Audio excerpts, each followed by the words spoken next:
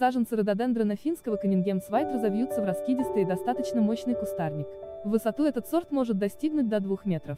Плотные зеленые листья будут удачно оттенять небольшие белые цветы со светло-коричневыми вкраплениями ближе к центру. Предпочтение для высадки крупномера рододендрона финского Каннингемсвайт.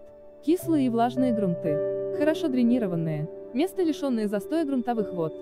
Первые 2-3 года роста требуется проводить укрывные мероприятия данного цветка.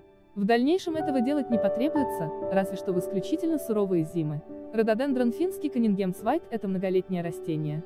Это растение и тысячи других саженцев, луковиц и семян вы можете купить на нашем сайте www.lafa.ru. Если вы просматриваете это видео на YouTube, то ссылку для покупки этого растения можно найти в описании под видеороликом. Ставьте лайки, подписывайтесь на наш канал, и вы первыми узнаете о новых растениях для вашей дачи.